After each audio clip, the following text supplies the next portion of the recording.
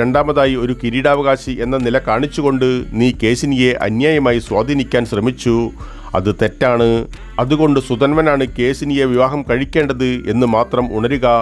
പ്രഹ്ലാദന്റെ നീതിബോധത്തിൽ ആകൃഷ്ടനായ സുധന്വൻ വീരോചനൻ അന്നു മുതൽ നൂറിലധികം വർഷം ജീവിച്ചിരിക്കുമെന്ന് വരം നൽകി.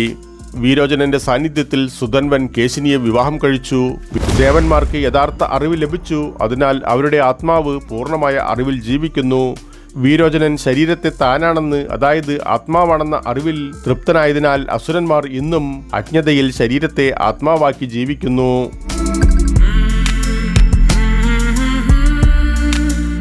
പ്രിയരെ നമസ്കാരം. ഹൈന്ദവർ ആഘോഷിക്കുന്ന ഏറ്റവും വർണാഭമായ ഉത്സവമാണ് ഹോളി. ഹോളിക ദഹനവുമായുള്ള ബന്ധം കാരണം പ്രഹ്ലാദന്റെ കഥയെ ഓർമ്മിപ്പിക്കുന്നു.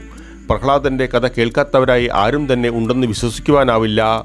എന്നാൽ പ്രഹ്ലാദന്റെ പുത്രനും നമ്മുടെ മഹാബലി തമ്പുരാന്റെ പിതാവുമായ വീരോചനന്റെ കഥ അധികമാരും കേട്ടുകൊള്ളണമെന്നുമില്ല.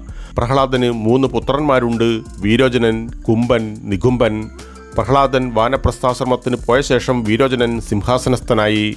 കുടുംബജീവിതത്തിന്റെയും ഭരണകൂടത്തിന്റെയും ഉത്തരവാദിത്തത്തിൽ നിന്ന് വിരമിച്ച് സത്സംഗത്തിലും ധ്യാനത്തിലും ആത്മാവിനെയും ബ്രഹ്മത്തെയും കുറിച്ചുള്ള അറിവിൽ സമയം ചിലവഴിക്കുന്ന ജീവിതത്തിന്റെ ഘട്ടമാണ് വാനപ്രസ്ഥാശ്രമം.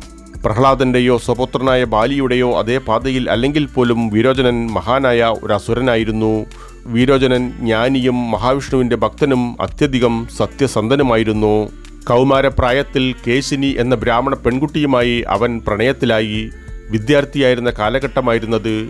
അവൻ ഉടൻ തന്നെ വിദ്യാഭ്യാസം പൂർത്തിയാക്കി യുവരാജാവോ കിരീടാവകാശിയോ ആയിത്തീരും. അതേസമയം ഋഷി അങ്കിരസന്റെ പുത്രനായ സുതൻവനും കേശിനിയെ സ്നേഹിച്ചിരുന്നു. വീരോചനന്റെ ഗുരുകുലത്തിലെ വിദ്യാർത്ഥി തന്നെയാണ് സുതൻവനും ഇരുവരും കേശിനിയെ വിവാഹം കഴിക്കാൻ ആഗ്രഹിച്ചു. ആരെ തിരഞ്ഞെടുക്കണമെന്ന് തീരുമാനിക്കുവാൻ കേശിനിക്ക് കഴിഞ്ഞുമില്ല. ഇരുവരും ഒരുപോലെ ധീരരും അറിവാളികളുമാണ്. അസുരനായ വീരോചനേക്കാൾ ശ്രേഷ്ഠനും ബ്രാഹ്മണനുമായതിനാൽ കേശിനിയുടെ ഭർത്താവാകുവാൻ താൻ കൂടുതൽ യോഗ്യനാണെന്ന് സുതൻവന് തോന്നി. എന്നാൽ ഞാൻ ഉടൻ തന്നെ കിരീടാവകാശിയാകേണ്ടതിനാലും അതുപോലെ തന്നെ ജ്ഞാനിയായതിനാലും കേശിനിക്ക് താൻ മികച്ച വരനായിരിക്കുമെന്ന് വീരോചനനും സ്വയം വിലയിരുത്തി ദേശത്തിന്റെ രാജാവായ പ്രഹ്ലാദന്റെ അടുക്കൽ ഇരുവരും പ്രശ്നപരിഹാരത്തിനായി പോയി. പ്രഹ്ലാദനെ ആ സാഹചര്യം വല്ലാത്തൊരു അവസ്ഥയിൽ കൊണ്ടെത്തിച്ചു. ഒരു വശത്ത് തന്റെ പ്രിയപ്പെട്ട പുത്രൻ മറുവശത്ത് സദ്ഗുണസമ്പന്നനായ ഒരു ബ്രാഹ്മണ യുവാവ്. രണ്ടുപേരും അദ്ദേഹത്തിന്റെ പ്രിയപ്പെട്ടവരാണ്. പ്രശ്നപരിഹാരത്തിനായി പ്രഹ്ലാദൻ മുത്തച്ഛനായ ഋഷി കശ്യപനെ സമീപിച്ചു. ഒരു സന്ദർഭത്തിലും കള്ളം പറയരുതെന്ന് ഋഷി കശ്യപൻ പ്രഹ്ലാദനെ ഓർമ്മിപ്പിക്കുന്നു. അവൻ നീതിമാനായിരിക്കണം. മുത്തശ്ശന്റെ ഉപദേശത്തിന്റെ പൊരുൾ തിരിച്ചറിഞ്ഞ പ്രഹ്ലാദൻ യുവാക്കളെയും കേശിനിയെയും വിളിച്ച് നിർദ്ദേശിച്ചു. വീരോചന സുധന്വന്റെ പിതാവായ ഋഷി അങ്കിരസൻ എന്നേക്കാൾ ഉന്നതനാണ്. അതിനാൽ തന്നെ സുധന്വൻ നിന്നേക്കാൾ ഉന്നതനാകുന്നു എന്നതാണ് വസ്തുത. രണ്ടാമതായി ഒരു കിരീടാവകാശി എന്ന നില കാണിച്ചുകൊണ്ട് നീ കേശിനിയെ അന്യായമായി സ്വാധീനിക്കാൻ ശ്രമിച്ചു. അത് തെറ്റാണ്. അതുകൊണ്ട് സുധന്വനാണ് കേസിനിയെ വിവാഹം കഴിക്കേണ്ടത് എന്ന് മാത്രം ഉണരുക. പ്രഹ്ലാദന്റെ നീതിബോധത്തിൽ ആകൃഷ്ടനായ സുധന്വൻ വീരോചനൻ അന്നു മുതൽ നൂറിലധികം വർഷം ജീവിച്ചിരിക്കുമെന്ന് വരം നൽകി. വീരോചനന്റെ സാന്നിധ്യത്തിൽ സുധന്വൻ കേശിനിയെ വിവാഹം കഴിച്ചു. പിന്നീട് വീരോചനൻ വിശാലാക്ഷിയെയും ദേവിയെയും പരിണയം ചെയ്യുന്നു. അദ്ദേഹത്തിന് പിറന്ന പുത്രനായ ബലി പിന്നീട് മഹാബലി എന്നറിയപ്പെട്ടു. മഹാബലിയുടെ വംശപരമ്പരയാണിത്. ഇന്ദ്രന്റെയും വീരോചനന്റെയും ഒരു കഥ വളരെ പ്രശസ്തമാണ്. ചാന്തോഗ്യ ഉപനിഷത്ത് പ്രകാരം ഒരിക്കൽ പ്രപഞ്ചത്തിന്റെ സൃഷ്ടാവായ പ്രജാപതി പ്രഖ്യാപിച്ചു ആത്മാവ് പാപരഹിതനും പ്രായമില്ലാത്തതും മരണമില്ലാത്തവനുമാണ്. അതിന് സങ്കടമോ വിശപ്പോ ദാഹമോ ഇല്ല. അതിന്റെ എല്ലാ ആഗ്രഹങ്ങളുടെയും ലക്ഷ്യം സത്യമാണ്. സത്യമാണ് അതിന്റെ തീരുമാനത്തിന് യോഗ്യമായ ഒരു കാര്യം. ഈ ആത്മാവിനെയാണ് അന്വേഷിക്കേണ്ടത്. അതിനെ മാത്രം അറിയുവാൻ ശ്രമിക്കണം. ആത്മാവിനെ അന്വേഷിക്കുകയും അതിനെ അറിയുകയും ചെയ്യുന്നവൻ എല്ലാ ലോകങ്ങളുടെയും സമ്പത്തും അഭികാമമായതുമെല്ലാം നേടുന്നു. ഈ പ്രഖ്യാപനം ശ്രവിച്ച ദേവന്മാരും അസുരന്മാരും ചിന്തിച്ചു നാം ഈ ആത്മാവിനെ അല്ലെങ്കിൽ സ്വയത്തെ അറിയുകയും എല്ലാ ലോകങ്ങൾക്കും വാഗ്ദാനം ചെയ്യപ്പെട്ട ഈ അറിവ് നേടുകയും വേണം. അതിനാൽ ദേവന്മാരുടെ രാജാവായ ഇന്ദ്രനും അസുരന്മാരുടെ നായകനായ വീരോചനനും ഒരു ശിഷ്യന്റെ എല്ലാ വിനയത്തോടും കൂടി പ്രജാപതിയെ സമീപിച്ച് ഈ വിവരം തങ്ങൾക്ക് പകർന്നു നൽകണമെന്ന് അഭ്യർത്ഥിച്ചു. പ്രജാപതി അവരെ ശിഷ്യന്മാരായി സ്വീകരിച്ച് മുപ്പത്തിരണ്ട് വർഷം തന്നോടൊപ്പം താമസിക്കുവാൻ ആവശ്യപ്പെടുന്നു. അത്രയും കാലം ഇന്ദ്രനും വീരോചനനും ബ്രഹ്മചര്യം വരിച്ച് അവിടെ ജീവിച്ചു. ആ നിശ്ചിത കാലഘട്ടത്തിന്റെ അവസാനത്തിൽ പ്രജാപതി ഇരുവരെയും വിളിച്ചു പറഞ്ഞു പ്രിയമുള്ളവരെ കണ്ണിലെ കൃഷ്ണമണിയിൽ കാണപ്പെടുന്ന വ്യക്തി ആത്മാവാണ്. ഈ ആത്മാവ് ബ്രഹ്മമാകുന്നു അനശ്വരനും നിർഭയനുമാണ്. ഒരു പാത്രത്തിലെ വെള്ളത്തിൽ പോയി നിന്നെ കാണുക എന്നിട്ട് നീ കണ്ടത് എന്തെന്ന് എന്നോട് പറയുക. അടുത്ത ദിവസം ഇരുവരോടുമായി അവരുടെ അനുഭവം വിവരിക്കുവാൻ പറഞ്ഞു ഗുരുവെ ഞങ്ങൾ കണ്ട ആത്മാവിനെ ഞങ്ങളെ പൂർണനായി കാണുന്നത് പോലെ തന്നെയാണ് കണ്ടത്. ഈ മുടിയും നഖങ്ങളുമെല്ലാം ഉൾക്കൊള്ളുന്ന ഒരു യഥാർത്ഥ ശരീരം. നിങ്ങൾ പോയി അണിഞ്ഞൊരുങ്ങൂ. എന്നിട്ട് ആ പാത്രത്തിലെ വെള്ളത്തിലേക്ക് നോക്കി നിങ്ങളുടെ അനുഭവം എന്നോട് പറയൂ. പ്രജാപതി ഇരുവരോടും ഒരിക്കൽ കൂടി ആവശ്യപ്പെട്ടു. സന്തോഷത്തോടെ ഇരുവരും നല്ലപോലെ അണിഞ്ഞൊരുങ്ങി വെള്ളം നിറച്ച പാത്രത്തിലേക്ക് നോക്കി തിരികെ വന്ന് മറുപടി പറഞ്ഞു അഭിവന്ദനായ ഗുരുവേ ഞങ്ങൾ നന്നായി വസ്ത്രം ധരിച്ചതായി നല്ല പക്വതയുള്ളവരായി നന്നായി അലങ്കരിച്ചതായി ഞങ്ങളതിൽ കണ്ടു. വളരെ നല്ലത് ഇതാണ് ആത്മാവ് അനശ്വരനും നിർഭയനുമായ ബ്രഹ്മം. അങ്ങനെ പ്രജാപതി അവർക്ക് ഉറപ്പുകൊടുത്തു ഇന്ദ്രനും വീരോചനനും സന്തോഷത്തോടെയും ഹൃദയത്തിൽ വളരെ സംതൃപ്തിയോടെയും ആഗമനോദ്ദേശം സാധിച്ചവർ തിരിച്ചുപോയി.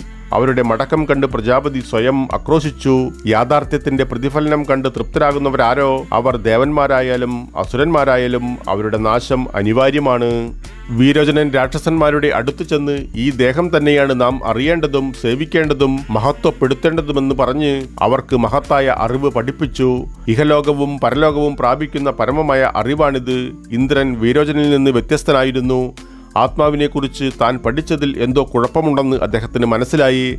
അദ്ദേഹം അതിൽ അസ്വസ്ഥനാകുന്നു. നന്നായി അണിഞ്ഞൊരുങ്ങിയ ശരീരത്തെ ജലം പ്രതിഫലിപ്പിക്കുന്നത് പോലെ അന്ധനാണെങ്കിൽ അന്ധതയെയും വികലമാണെങ്കിൽ വികലതയെയും പ്രതിഫലിപ്പിക്കുമെന്ന് അദ്ദേഹം സ്വയം ചിന്തിച്ചു. ഒരു ശരീരം നശിക്കുകയോ മരിക്കുകയോ ചെയ്താൽ ജീവനുള്ള ശരീരത്തിന്റെ പ്രതിഫലനമില്ല. പിന്നെ എങ്ങനെയാണ് ശരീരത്തെയോ അതിന്റെ പ്രതിഫലനത്തെയോ മരണമില്ലാത്ത ആത്മാവ് എന്ന് പറയുക? തന്റെ സംശയം നിവൃത്തി ചെയ്യാൻ പ്രജാപതിയുടെ അടുത്തേക്ക് തന്നെ തിരിച്ചുപോയി. ഗുരുവെ ഈ ശരീരത്തിലോ അതിന്റെ പ്രതിഫലനത്തിലോ യോഗ്യമായ യാതൊന്നും ഞാൻ കാണുന്നില്ല. ആത്മാവിനെക്കുറിച്ചുള്ള ശരിയായ അറിവ് എനിക്ക് പകർന്നു നൽകൂ.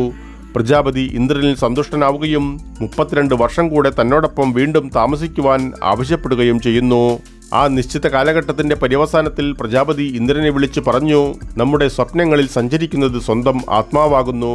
ആ വെളിപ്പെടുത്തലിൽ ഇന്ദ്രൻ തൃപ്തനായി. ആ തൃപ്തിയോടെ ദേവന്മാരുടെ വാസസ്ഥലത്തേക്ക് മടങ്ങി. എന്നാൽ ആ മടക്കയാത്രയുടെ മുന്നേറ്റത്തിൽ വീണ്ടും മനസ്സിൽ സംശയം ഉടലെടുത്തു. അദ്ദേഹം ചിന്തിച്ചു സ്വപ്നം എങ്ങനെ ആത്മാവാകും? സ്വപ്നങ്ങളിൽ ഒരാൾ കഷ്ടപ്പെടുന്നു ഒരാൾ മുറിവേറ്റവനെ പോലെ കാണപ്പെടുന്നു ഒരാൾ കഷ്ടപ്പെടുമ്പോൾ നിലവിളിക്കുന്നു. നിർഭയനും പാപരഹിതനുമായ ആത്മാവിന് അത്തരം സംഭവങ്ങൾക്ക് വിധേയനാകുവാൻ കഴിയില്ല.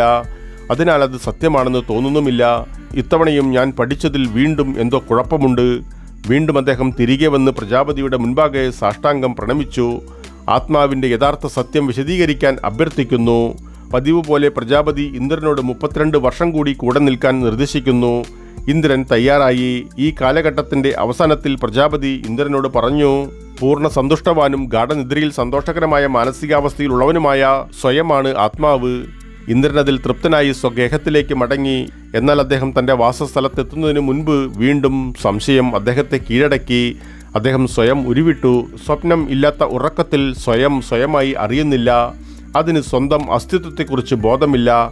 അങ്ങനെയെങ്കിൽ അബോധാവസ്ഥയിലുള്ള സ്വയം ആത്മാവ് ആകുന്നത് എങ്ങനെയാണ്? അതിനെ എപ്പോഴും പ്രകാശമാനമായത് എപ്പോഴും ബോധമുള്ളത് എന്നല്ലേ വിശേഷിപ്പിച്ചത്? വീണ്ടും പ്രജാപതിയുടെ അടുക്കിലേക്ക് തന്നെ തിരിച്ചു. ആ വിഷയത്തിലെ തന്റെ സംഘർഷങ്ങളെ അദ്ദേഹത്തെ ബോധിപ്പിക്കുന്നു. ഇത്തവണ പ്രജാപതി ഇന്ദ്രനിൽ കൂടുതൽ സന്തുഷ്ടനാവുകയും തന്നോടൊപ്പം അഞ്ചു വർഷം കൂടെ ചിലവഴിക്കാൻ നിർദ്ദേശിക്കുകയും ചെയ്തു. കാലാവധി പൂർത്തിയാക്കിയപ്പോൾ ഇന്ദ്രനെ പ്രജാപതി അരികിൽ വിളിച്ചു പറഞ്ഞു ഹേ ഇന്ദ്ര നിന്റെ നിരന്തര പരിശ്രമത്താലും തീവ്രമായ അന്വേഷണത്താലും പരമമായ സത്യത്തെക്കുറിച്ചുള്ള അറിവിന് നീ അർഹനായി. ഇപ്രകാരം പ്രജാപതി വെളിപ്പെടുത്തിക്കൊണ്ട് ആ സമയത്ത് സ്വയം തയ്യാറാക്കിക്കൊണ്ടിരുന്ന പരമോന്നത വിജ്ഞാനത്തിന്റെ ഒരു ഭാഗം ഇന്ദ്രനോട് വെളിപ്പെടുത്തി. ഈ ശരീരം മരണത്തിന് വിധേയമാണെങ്കിലും ആത്മാവ് മരണമില്ലാത്തതും ശരീരമില്ലാത്തതുമായ ആത്മാവിനെ ഉൾക്കൊള്ളുന്നു. ഈ മൂർത്തിഭാവമുള്ള ഞാൻ സുഖം വേദന തുടങ്ങിയ എല്ലാ ദ്വന്ദ്ങ്ങളുടെയും കെണിയിൽ വീഴുന്നു. എന്നാൽ ശരീരമില്ലാത്ത ആത്മാവിനെ ഒരു ദ്വിത്വവും സ്പർശിക്കുന്നില്ല. ആത്മാവ് ശരീരത്തിൽ വസിക്കുകയും അവയോട് ചേർന്ന് നിൽക്കുകയും ചെയ്യുന്നിടത്തോളം കാലം അവൻ പരിമിതനും നിയന്ത്രണ വിധേയനുമായി തോന്നുന്നു. എന്നാൽ വീണ്ടും ശരീരത്തിൽ നിന്ന് മോചിതനാകുമ്പോൾ അനശ്വരമായ ചൈതന്യവുമായി ഒന്നായിത്തീരുന്നു. ആത്മാവ് ശരീരം വിട്ട് വിലകുമ്പോൾ അനന്തമായ ലോകങ്ങളിൽ സ്വതന്ത്രമായി വിഹരിക്കുന്നു. കണ്ണും ചെവിയും ഇന്ദ്രിയങ്ങളും മനസ്സും ഉള്ളത് ആത്മാവിനെ കാണുവാനും കേൾക്കുവാനും ചിന്തിക്കുവാനും വേണ്ടി മാത്രമാണ്. വസ്തുക്കളും ജീവികളും നിലനിൽക്കുന്നത് സ്വയത്തിലും ആത്മാവിലുമാണ്. അത് എല്ലാ അസ്തിത്വത്തിന്റെയും സത്യവും അവസാന ശേഖരവുമാണ്. ഇത്തവണ ഈ അറിവ് ദേവന്മാർക്ക് പകർന്നു നൽകുവാനായി തിരികെ ഇന്ദ്രലോകത്തേക്ക് തിരികെ പോയപ്പോൾ ഇന്ദ്രന് സംശയം ലവലശം തോന്നിയില്ല. ദേവന്മാർക്ക് യഥാർത്ഥ അറിവ് ലഭിച്ചു. അതിനാൽ അവരുടെ ആത്മാവ് പൂർണമായ അറിവിൽ ജീവിക്കുന്നു. വീരോചനൻ ശരീരത്തെ താനാണെന്ന് അതായത് ആത്മാവാണെന്ന അറിവിൽ തൃപ്തനായതിനാൽ അസുരന്മാർ ഇന്നും അജ്ഞതയിൽ ശരീരത്തെ ആത്മാവാക്കി ജീവിക്കുന്നു.